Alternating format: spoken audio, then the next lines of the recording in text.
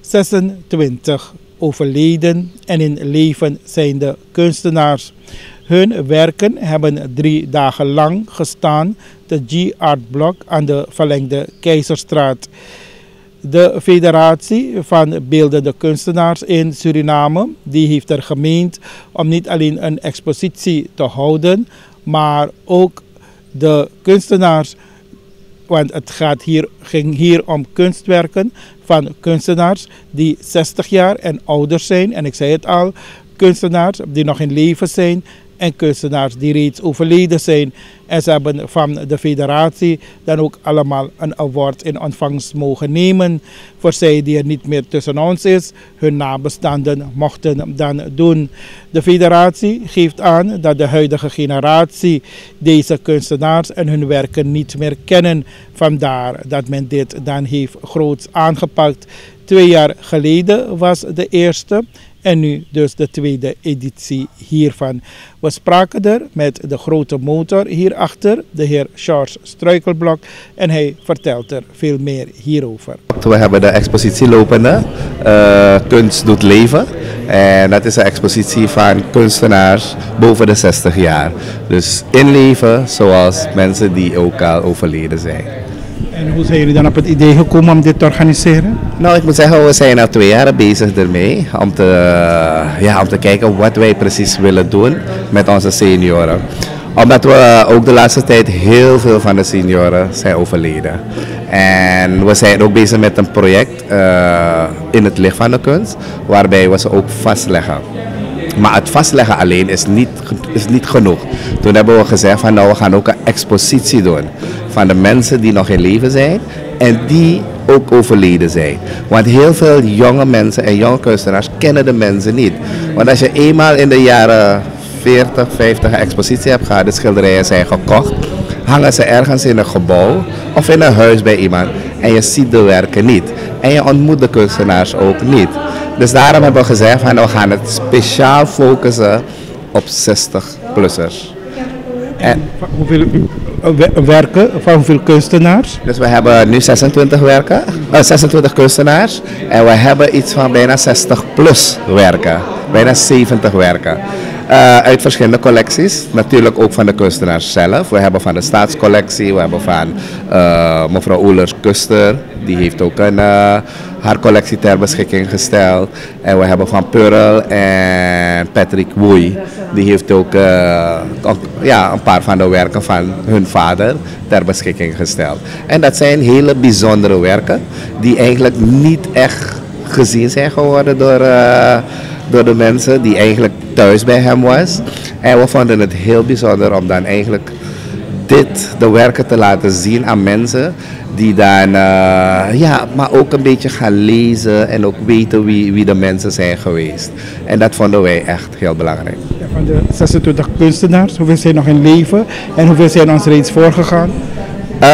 Um, ik moet zeggen, ik denk om en bij 9 of 8 zijn ons uh, zijn voorgegaan.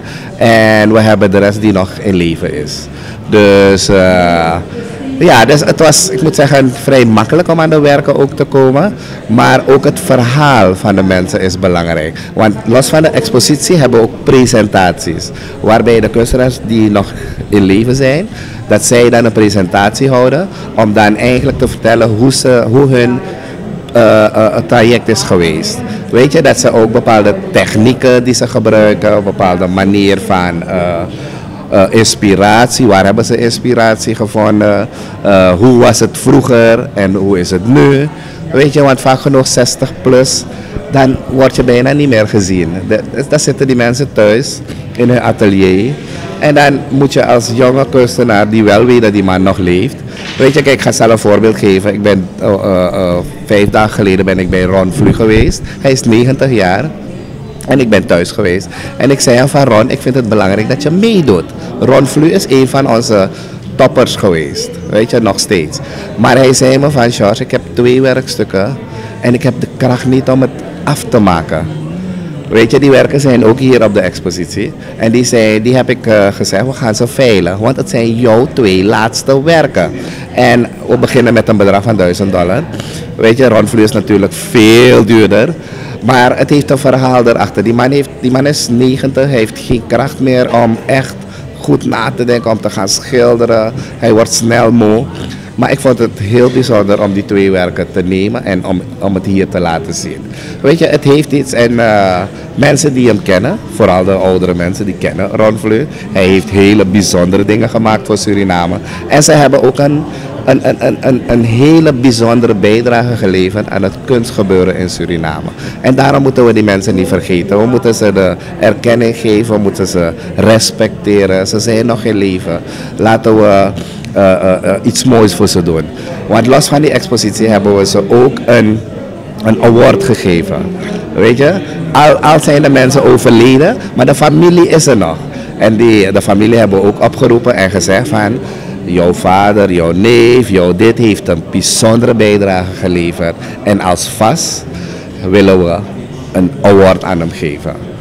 Weet je, en dat is wat we nodig hebben in Suriname. We moeten elkaar waarderen en respecteren. En soms doet die schouderklopje heel veel. Weet je, we, we, we, we, moeten, we hebben dat met het vechten. Maar soms het schouderklopje van hey, je bent goed bezig. Stimuleert alleen maar om mooiere, mooiere werken en mooie dingen verder te doen. En dat is eigenlijk onze drijfveer geweest. Om echt de mensen die grani te geven. En ik neem aan dat gezegd hebbende, heer uh, Struikelblok, dat het dus dan niet bij deze ene zal blijven. Nee, nee, nee. We hebben twee jaar geleden hebben we, uh, de eerste gedaan. Dat was in het TBL uh, cinema. Daar hebben we waardering gegeven aan de kunstenaars die ook een bijdrage hadden geleverd. Toen was het in het klein.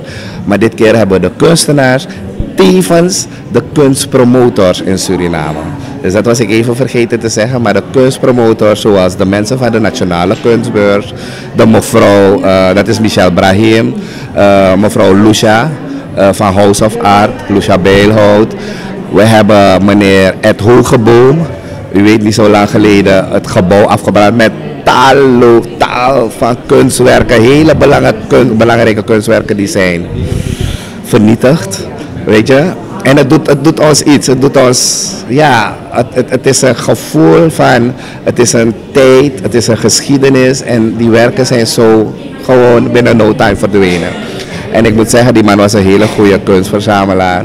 En we hebben Nardi Johans.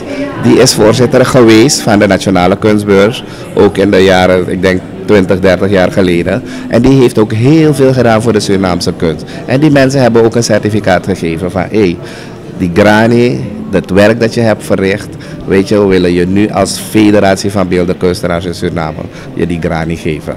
En ik moet zeggen, het, het, het, heeft, het, heeft, het geeft een goed gevoel.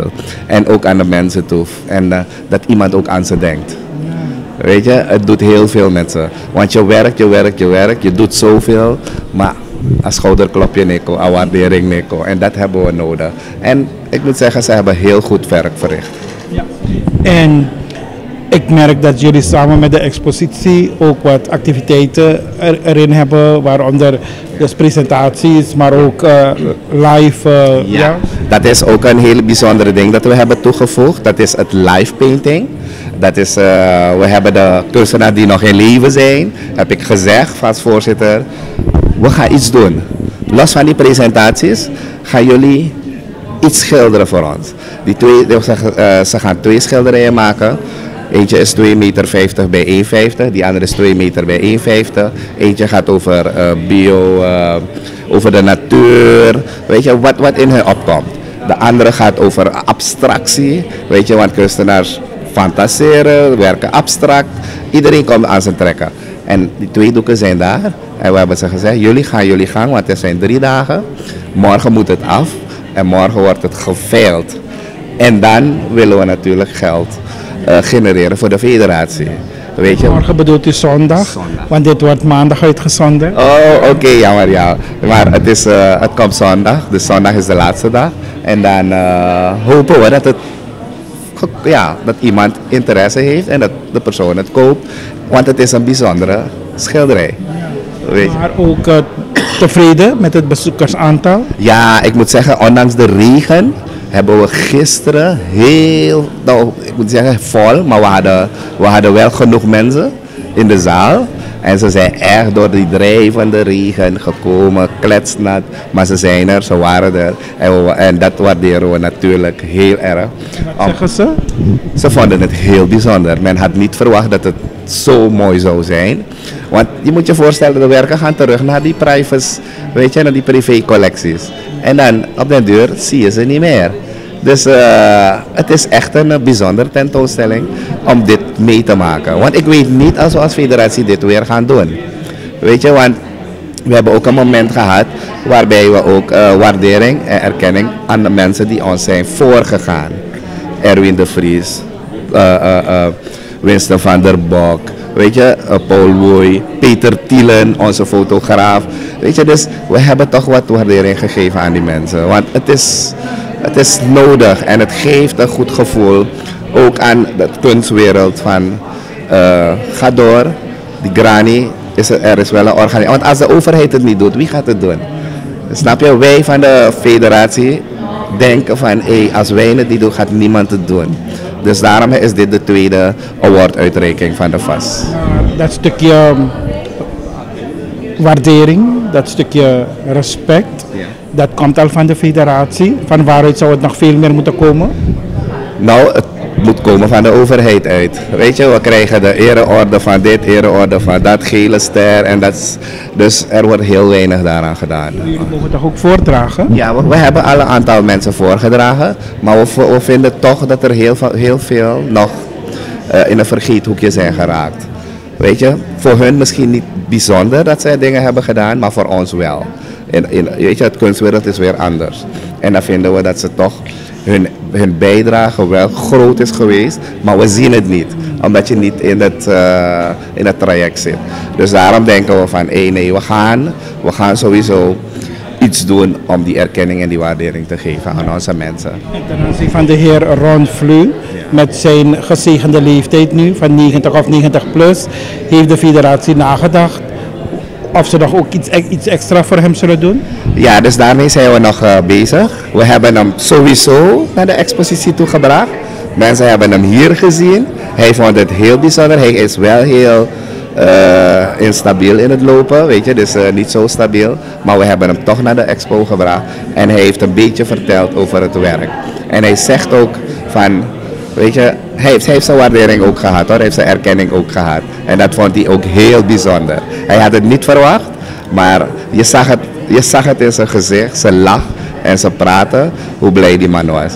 En eh, dat, dat, dat, dat doet ons heel veel, weet je. Dus, en eh, wat, wat we nog zullen doen, dat eh, zullen we in het bestuurverband bespreken nog. Ja. Ja. Maar wat vindt de federatie zelf van waar we nu staan als kunst Suriname?